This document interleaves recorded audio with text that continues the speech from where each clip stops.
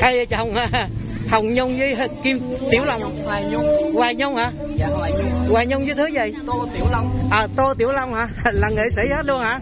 Dạ. Rất là vui. Hôm nay mình ngẫu nhiên gặp à, vợ chồng à, Tô Hoài Long hả? Gì? Tô Tiểu Long, à, Tô Tiểu Long. Tô Tiểu Long đây các bạn. Hoài Nhung. Hoài Nhung.